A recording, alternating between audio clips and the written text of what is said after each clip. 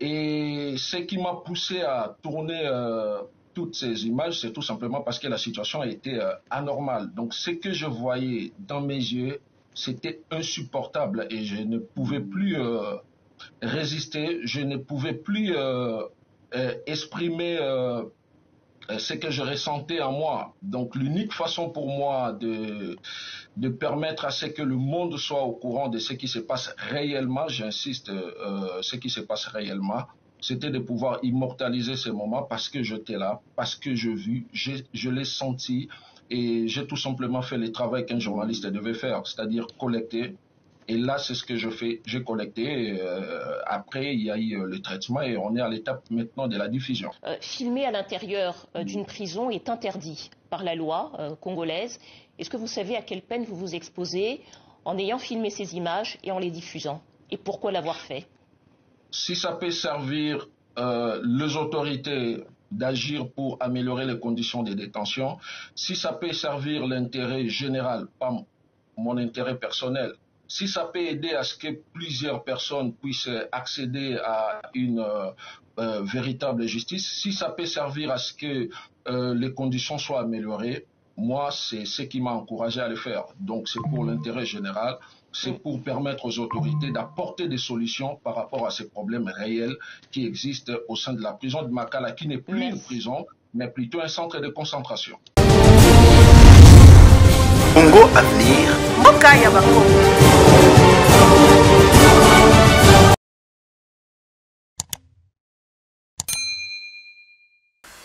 Bon début de semaine à toutes et à tous. Topesi bino mbote de partout dans le monde boza kolanda Congo Avenir Télévision. toza ensemble merci mpo na confiance na fidelité oyo boza kopesa na chaîne na bino chaîne na biso congo avenir télévision dimanche euh, le président de la république euh, afongolaki euh, milulu moko oyo ekosangisa basali nyonso ya gouvernement donc gouvernement mobima séminaire gouvernemental mpo na année oyo ya 2024 ezalaki wana na palais de la nation et euh, mpo na année oyo mpo na édition oyo ya séminaire gouvernemental wana ntina nango vraiment e, eza nini eza ete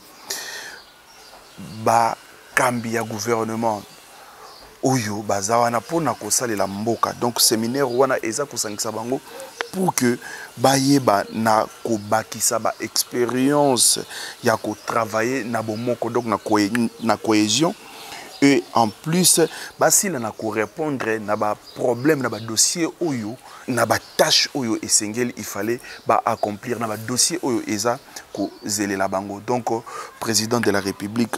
na ntango asilaki kozwa maloba asilaki vraiment na kosenga na bango basila na kozala na lolenge moko boye ya kosala mosala ya leta ya kose comporte parce que eza na batâche oyo ebele oyo uh, ya population donc eza na makambo oyo ebele oyo population aza kozela na bango basila vraiment na korépondre tokoproposele bino euh, mwa extrait ya discours euh, lorsque le président de la république asilaki kozwa maloba ezalaki kuna na palais de la nation esika wapi bamembre nyonso ya équipe gouvernementale tomonaki wana cabinet ya chef de l'état mobimba bazalaki wana bango mpe baassistaki ozwi gouvernement mobimba kobanda na première ministre maman judith euh, tuluka suminwa na équipe gouvernementale na ye mobimba baparticipaki baassistaki na séminaire oyo efongwamaki lobi par le chef de l'état Des sourires, des accolades, des poignées de mains appuyées, c'est l'image d'une équipe gouvernementale qui se veut soudée pour bien remporter des victoires. Et près de deux mois après la publication du gouvernement souminois, c'est ce dimanche 19 juillet 2024 que ses membres, au grand complet, se sont réunis dans la salle de congrès du Palais de la Nation à l'occasion de la cérémonie d'ouverture d'un séminaire gouvernemental. Ce cadre devra notamment permettre aux séminaristes de transformer en acte le programme gouvernemental calqué sous la vision du chef de l'État. Arrivé en début de soirée au Palais de la Nation, le président de la République Félix Antoine Di Chilombo est venu présider ces importantes assises. Son discours d'orientation a décortiqué le thème de ces séminaires de trois jours, à savoir sceller le pacte d'engagement citoyen pour la cohésion et la solidarité gouvernementale. Dès l'entame, le chef de l'État exprimait son attachement pour ces assises.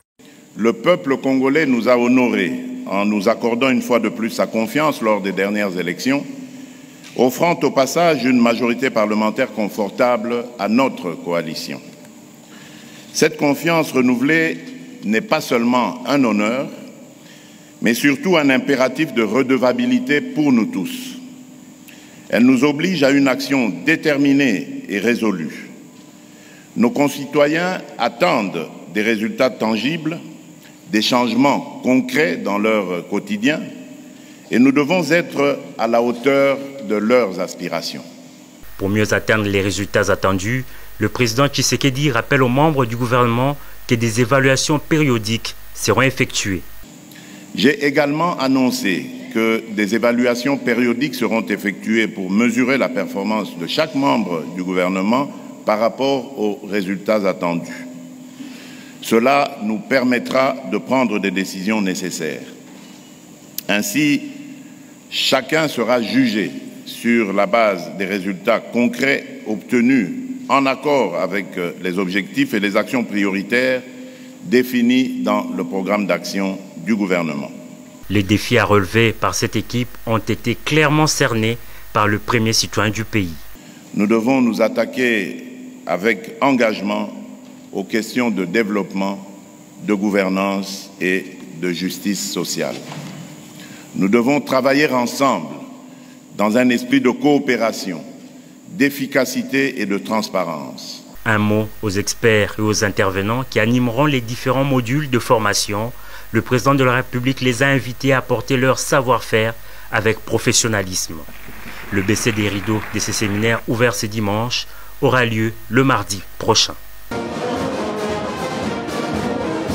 Le président de la République a exhorté le membre du gouvernement à travailler avec efficacité pour l'intérêt général. Nos, concitoyens attendent des résultats tangibles,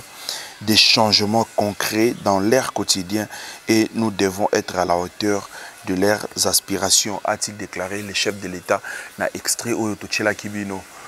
Bayebi na bango nioso wana oyo chef de l'etat pour la enième fois aye ko rappeler bango mais ce qui est grave okomona bango oui bauti kobima na seminaire wana bayebisi bango mpe baattribution na bango oyo eza kozalela bango mais sur terrain sur papier yango te nde bakosala sur papier nous allons voir des détournements parce que kala mingi te awa ntango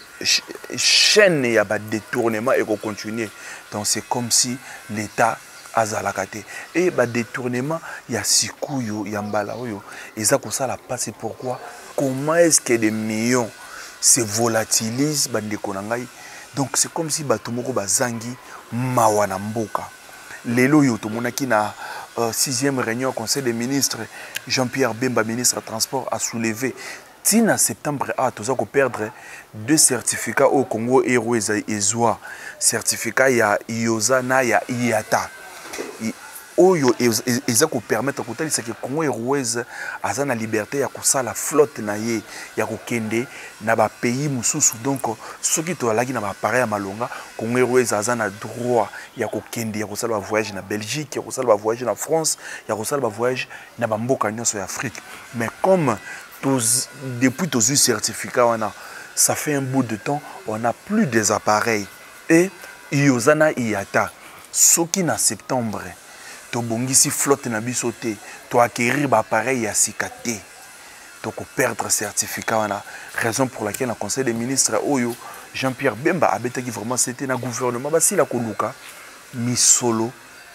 pour que to acquérir euh, ba A320 ba Airbus A320 misato pour et permettre à biso to garder certificat wana mais okotala na mopanzi moko boye awa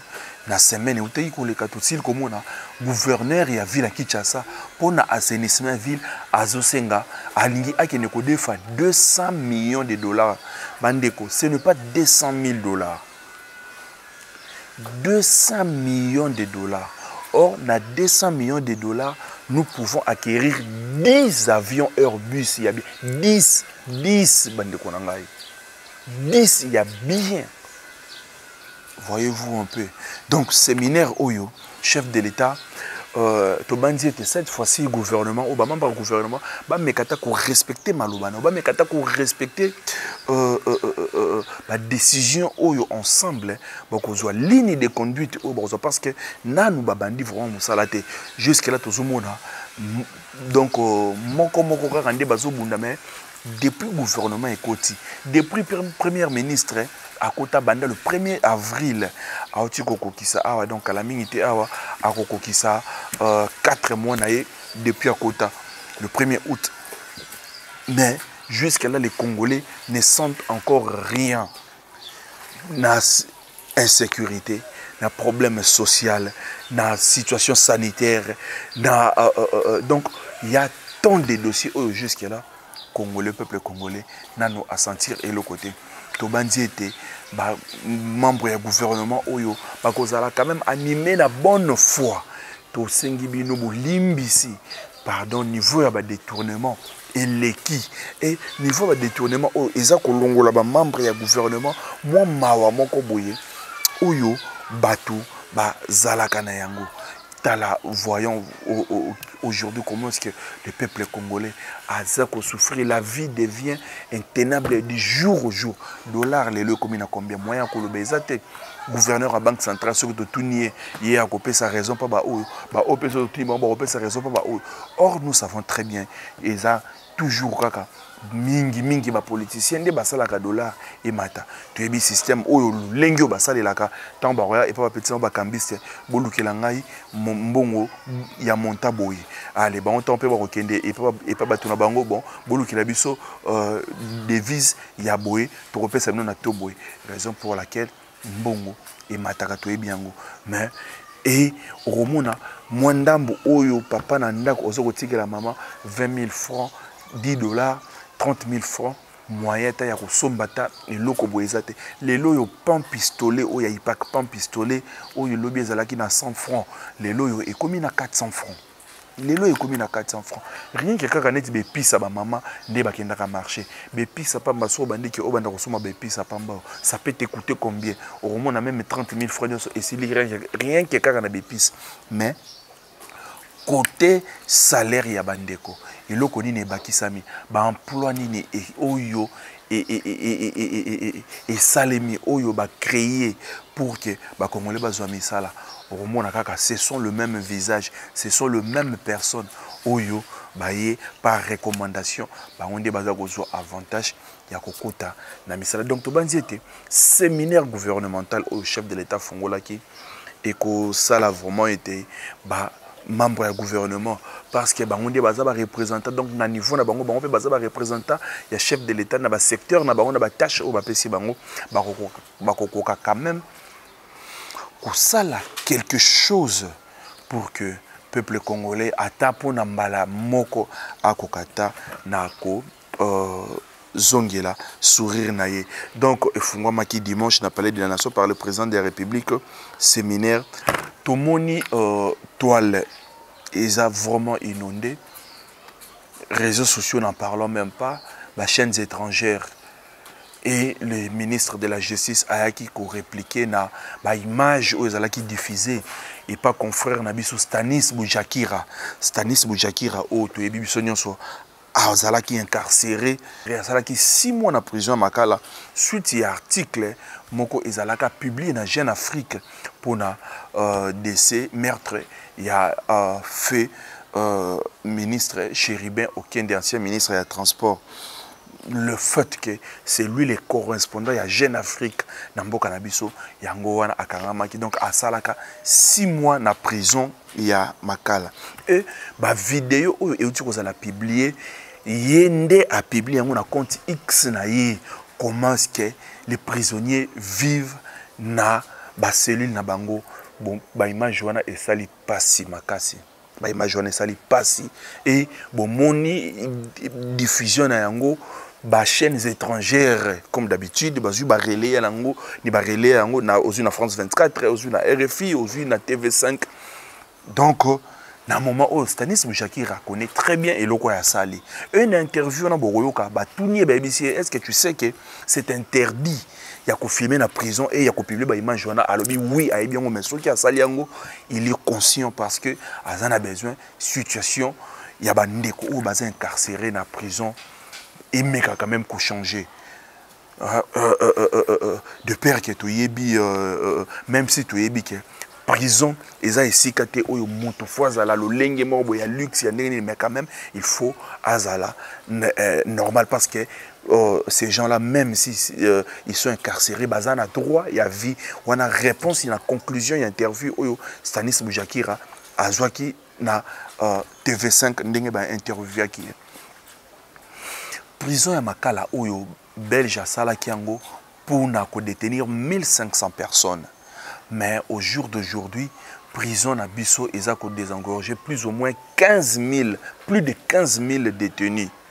Il y a beaucoup de dossiers oyo bato basamba te ndeko mike mukebayi prenons l'exemple bakangaka ye le 21 mai 2023 tomonaki lobi avant-hier nde awa euh, procès na ye elingi ebanda apasse une année donc eza na bakaa ya balolenge ebele ya bato mosusu bakokaka ata kokóma na prison te lelo mosusu peut-être lelo mosusu na niveau ya bureau du quartier na niveau ya basiati to susiati to ou bien na niveau ya commune ti na niveau ya parquet dossier esili moto azongi eza na bato ebele bakenda kobwaka bango kuna ti lelo ils n'ont même pas de juge naturel na bango donc ce sont des cas oyo esali mpasi oyo bomoni na baimage wana de milliers de personnes baza kosalela latrine moko baza kosalela donc toilette moko misusu esika kolala eza te baza kolala na nzela esali mpasi baimage wana esali mpasi mais biso na part na biso tokoloba nini toyebi ete constitution na biso ndenge batuni stanisme jakira eza interdit eza kointerdire bato na kosala eloko oyo asali me mboka na biso na moma oyo tokomi bandeko uh, na part moko boye esengi fo kaka kosala makambo ndenge wana pourquoi eza na baministre ba justice nyonso bakotaka soki bakoti basalaka état de lieu bakendaka kosala état de lieu ya baprison babandaka souvent na prison ya makala bakendaka na prison ya ndolo bakendaka na prison ya luzumu awa na congo central misusu bakendaka kuna na baangenga na baéquateur misusu bakendaka na balubumbashi kuna na babuluo donc baministre tout basalaka yango récemment na l'infatigable constant mutamba ye mpe auti kosala ronde wana akendaki na prison centrale ya makala atali condition baprisonnier ba baza kovivre batalisi ye te ke baprisonnier baliaka de deux à trois fois par jour mais na récit ya na, na documentaire na filme ya stanisme jakira baprisonnier baliaka mbala moko na mokolo e c'est de 17 heures à 18 heures e na kotala biloko oyo baliaka wana esali mpasi me na komona na oyo balakisaka ministre bakolakisa ministre bafungoli ministre bacongélateur tala baprovision ezali tala koto loso ezali fufu bomoni na badepo na bango wana okomona masangu donc, donc bomona semoule de maïs bomoni uh, semoule de manioc bomoni na bacongélateur baprovision ezali bamadeso ezali mais en réalité parfois ezalaka ndenge wana te constant mutamba alongwaki wana ake na ndolo ake na luzumu c'est la même chose na luzumu kutu batuni na baprisonnier toyebi te soki régi tokozala na bango na même langage batya ntango bazotuna baprisonnier soki baliaka ndenge nini bango moko baprisonnier baza ko répondre mais non na ba moment na ba dossier boye toloba nini parce que kutu yo ba prisonnier bango moko bazoloba baliaka kitoko bazolia ba poisson minene bazolia misuni na soso minene bazolia deux à trois fois ba conditions ya vie na bino awa eza ndeni tozolya bien tolala bien papa akipana biso bien elamba eyaka badra eyaka bakantine eyaka bapoisson tolyaka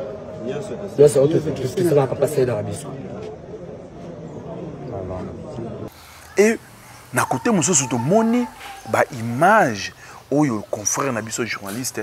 asili kobimisa e réplique ya ministre alobi ke baimage wana ce sont des anciennes images Oui, même si ce sont des anciennes images, c'est que bazo reconnaître que babiloko wana ezalaki ndenge wana. Raison pour laquelle ministre Tango akendaki kosala tour na prison Makala asengaki ke na ba oyo nyonso nanu basambisa bango te banda kosambisa bango epreuve neke tobandi komona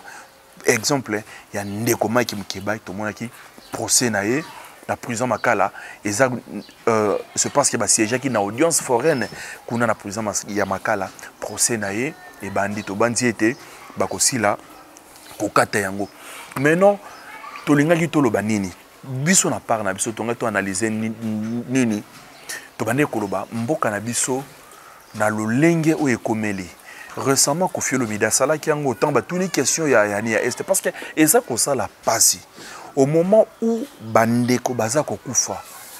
eza na bamisusu oyo baza kodetourne bambongo oyo ekoki kosala ke bandeko wana bavivre mpe malamu malgré bamakambo nyonso oyo basali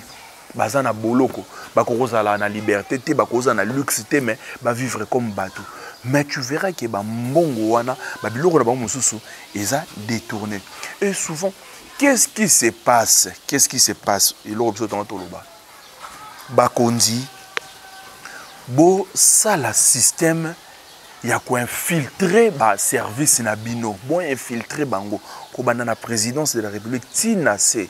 boinfiltre baservice na bino bato na bino oyo bazalaka sur terrain souvent eloko nini basalaka bayebi ke ministre ya justice a annoncaki ke akoya kosala tour na prison centrale ya makala na baprison na biso babi ke lelo ministre akoya na prison ya, ya, ya, ya makala qu'est-ce qui, qu'est-ce qui va se passer bakozwa biloko nyonso ya mabe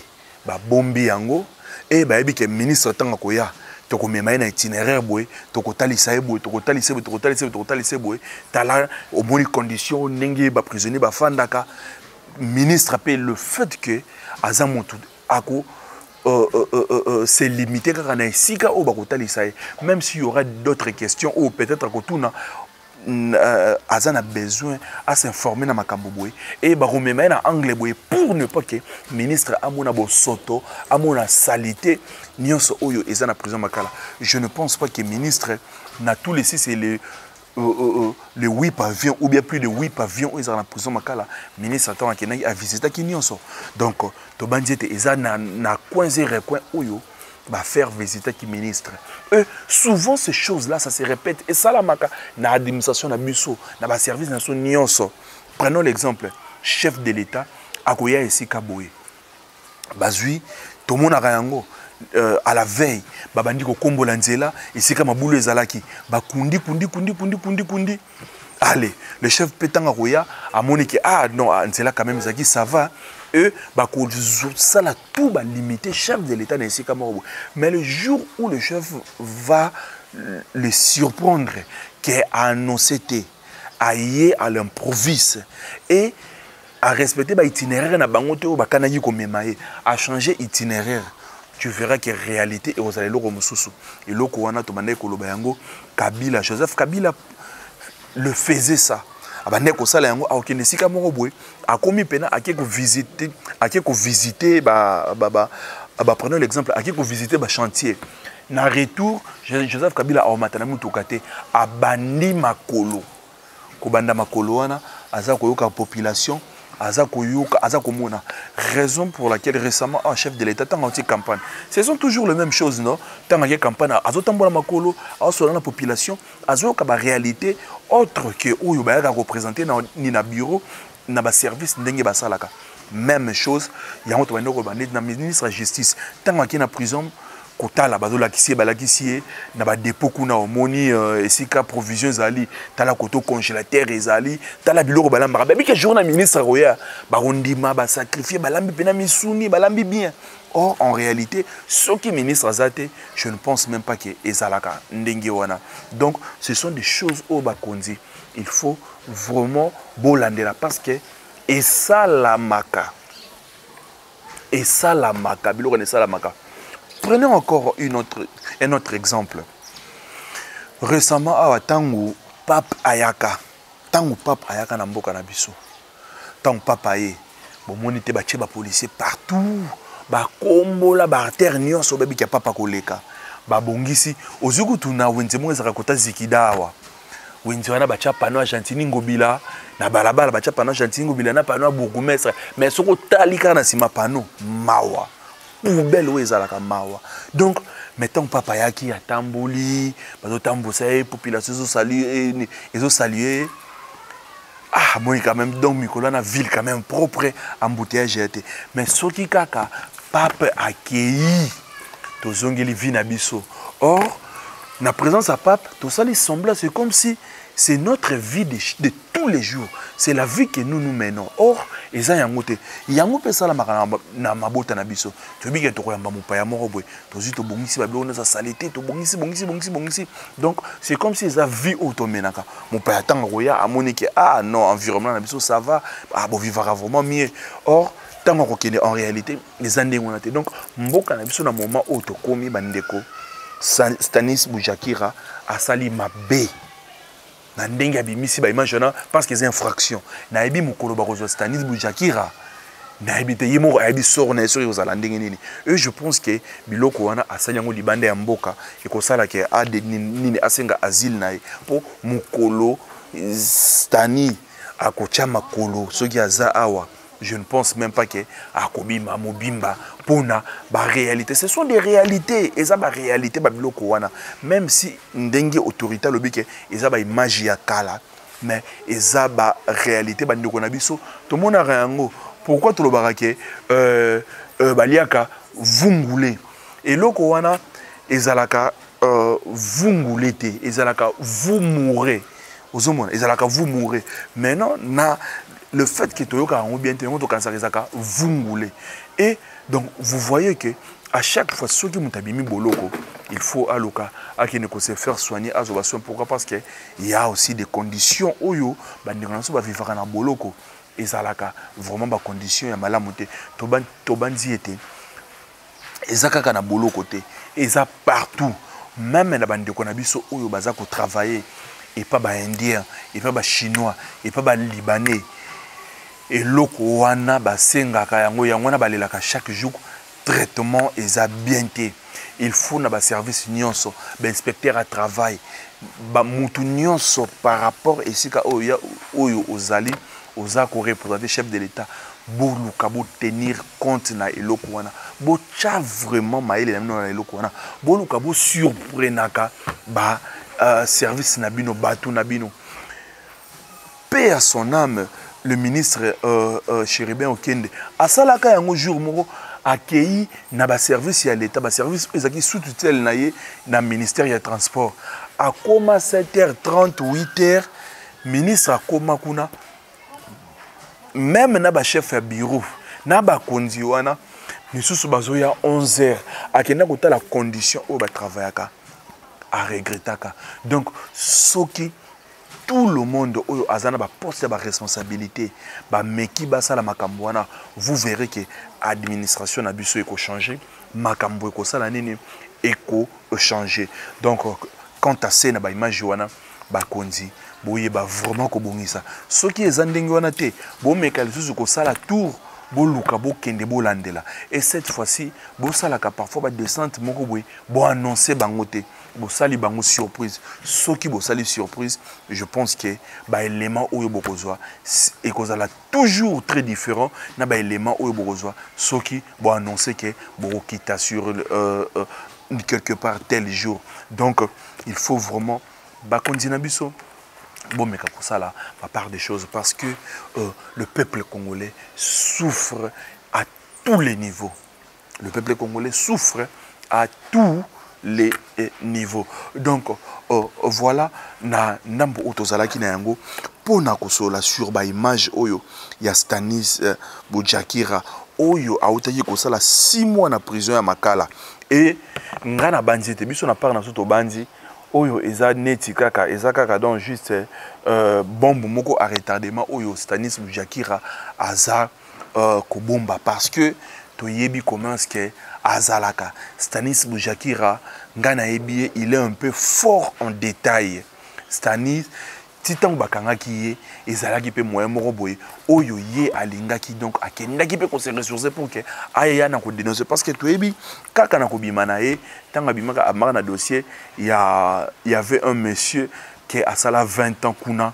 ba sans procès et esengaka procureur euh, akende mbangu procureur je crois ya, ya, ya, ya cour ya cassation je crois akendaka mbangu kuna pour ke akende kosenquerir na dossier wana e na nsima ayaka koloba ke euh, makambo wana ezalaka faux eza ndenge wana te mais à partir ya dénonciation wana ya stanis bujakira esalaki ke mwa makambo moke moke esala nini emeka kosameliore kuna na prison et voilà aujourd'hui encore aye susu kobeta bombo mosusu abimisi baimage mosusu na réseau sociaux tomoni wana commerce ke baprisonnier esika ya kolala eza te misusu donc mawa mawa vraiment donc image wana eza kosala malili na nzoto mawa et tobanzi ete bokeba asila susu kozala susu na eloko mosusu oyo ya grave oyo eza toujours en rapport surtout na baprisonnier kuna oyo eza toujours en rapport na incarcération ya bato kuna na prison centrale ya makala euh, mpo na mboka na biso donc c'est aussi le moment esunga bakonzi na biso bayeba na kobongisa makambo na uh, mopanzi wana uh, donc tobanzi ete les choses vont s'améliorer na ba uh,